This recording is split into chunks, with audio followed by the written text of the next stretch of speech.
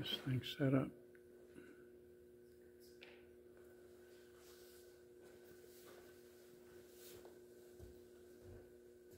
Three sixty-two. Okay. I didn't get a chance to do any Easter music, resurrection music. I haven't played my larger harmonica for a long time. So I'm gonna play uh, a little bit of the uh, He Arose. How many like that song? Amen. Aren't you glad he's the only one who's ever lived that you can sing that song about? Right. There's nobody else you can dedicate it to, right? Let's see, I'm gonna play without you.